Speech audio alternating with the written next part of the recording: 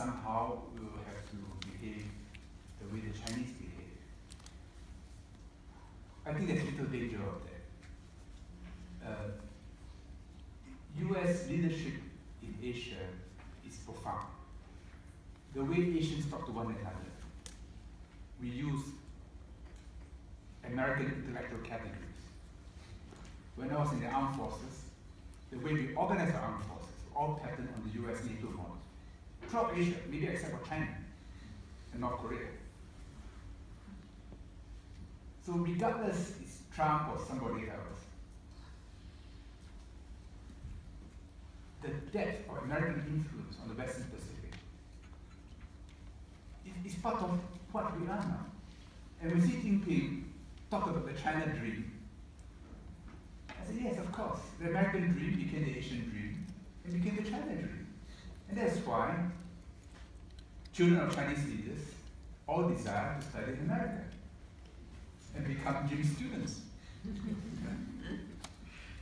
so this is something which will not go away because China has absolutely no wish to displace the US from that position. It is a culture which has no missionary instinct. You're not born a Chinese, there's no need for you to become one. You can learn the language, you can food, even when you wear, wear Chinese clothing, know, a bit awkward, but it's okay, it's my But they, they have zero wish for you to become Chinese. They prefer that you, you are what you are and you don't intrude into their space and they won't intrude into yours. Unlike the Americans, the Americans believe they're big hearted, they desire nothing more than to make you like them, which is sometimes a little intrusive. But there is a, a benign side of it, which makes us what we are, and without which we cannot explain the rise of Asia today.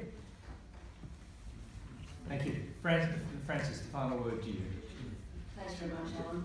Uh, I just think the point that was made about transparency is quite important and is challenging all of our governments and something we need to pay more